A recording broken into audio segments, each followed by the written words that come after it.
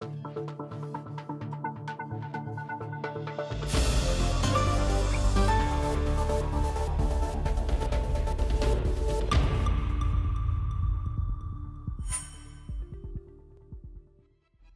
The aircraft carrier Cavour, the flagship of the Italian Navy, returned to the US port of Norfolk on the 26th of March after completion of sea trials for the operational use of the F-35B, soon to be supplied to the Italian Navy to replace the AV-8B plus Harrier.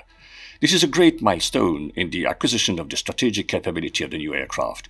It will be followed by the initial operational capability in 2024 and ultimately the final operational capability that will coincide with the delivery of the last F-35B to the Italian Navy.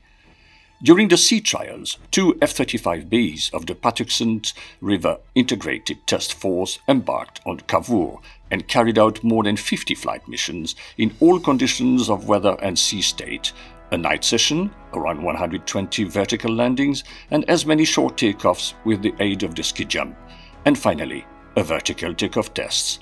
About 800 people took part in this important certification.